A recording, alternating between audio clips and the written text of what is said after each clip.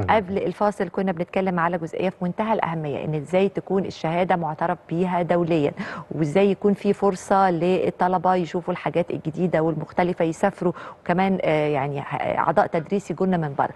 هنا قصة الحصول ال- في اشتراطات لده. يعني الطالب يقدر ياخد آه، منح دراسية يقدر يطلع في دورات تدريبية بره وكمان حتى ممكن يتكلم بيها في الداخل القطاع الخاص والشراكات والكلام ده كله.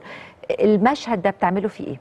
المشهد ده موجود حضرتك يعني إن الطلبه تسافر بره وتاخد بعض من الترمات بتاعتها أو الفصول الدراسية بره في الجامعات اللي هي عاملة الشراكة مع الجامعات المصرية ويرجع مصر تاني. دي حاجة جميلة جدا. وأنا لما سافرت ألمانيا وشفت الطلبة اللي سافروا ألمانيا علشان يقضوا جزء من الساعات بتاعتهم هناك. كانت التجربة تجربة جميلة جدا بالنسبة لي لأن طب. الطلبة لما عاشوا بره هم ما خدوش علم فقط هم خدوا علم وحياة في وقت واحد. وده شيء في غاية الأهمية بتساعد جدا على تنمية الشخصية بتاعة الطالب نفسه. بيبقى في اختيار بقى لل- للطالب اللي هيحصل الطالب بيختار وهم هنا في مصر بيقيموا الطلبة اللي يسافروا مين والطلبة اللي ما يسافروش مين والسفر في هذه الحالة مفيد للغاية بالنسبة لهؤلاء الطلبة.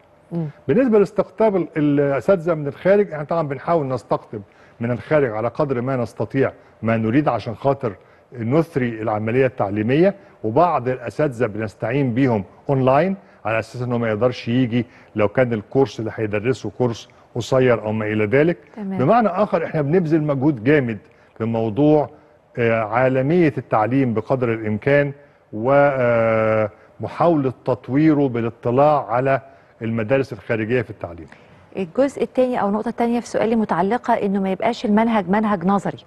إن يطلع الطالب خاصة في تخصصات بعينها يبقى شغال بإيده خبرة عملية ياخدها. آه هنا القطاع الخاص وطبيعة الشراكة ما بيننا في ال- في المحور ده. طبعا حضرتك ده شيء في غاية الأهمية في الكليات العملية آه. بالذات. فطبعا في الكليات العملية إحنا بنشترط دلوقتي إن ما فيش كلية طب تنشأ إلا لما يكون معاها مستشفى التعليمي بتاعتها. تمام. وده شيء في غاية الأهمية. كان زمان بيعتمدوا على إن هم آه، يعني يودوا أولادهم يتعلموا في أحد الجامعات أو في آه، أحد المستشفيات آه، تبع وزارة الصحة. دي ما بيكونش فيها الجدية الكافية زي ما تكون الحاجة بتاعتك. فإحنا موضوع المستشفيات الجامعية أصبح بالنسبة لنا خلاص عرف وإحنا لا يمكن نوافق لحد على إنه يفتح مستشفى يفتح كلية طب إلا لما يعمل مستشفى. واللي موجودين دلوقتي واخدين مرحلة للانتهاء من هذه المستشفيات في خلال سنتين بكتير تكون مستشفياتهم كلها خلصانة. معظم كليات الهندسة آه، ملحق بيها مجموعة كبيرة جدا من الورش في داخل الكليات. هذه الورش بتتطور في بعض الكليات إلى أن تصل إلى حد مصانع صغيرة. تنتج بضاعة. هذه البضاعة بيتدرب فيها الطالب برضه بحيث إن الطالب لما يخرج لسوق العمل يبقى هو اوريدي كان عايش التجربة. نفس الكلام حضرتك في كليات الإعلام. الاستوديوهات دلوقتي بقت موجودة في داخل الكليات والطلبة بتتدرب على الأداء بتاعها في داخل كليات الإعلام في داخل كلياتها بدون أن يخرج بره كليته خالص.